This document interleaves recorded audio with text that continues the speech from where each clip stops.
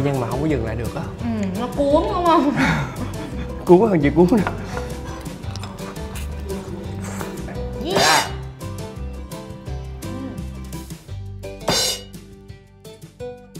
mình cắn vô sao nó tóe ra mọi người. Nó giật giật cái dây thần kinh đó. Trời ơi.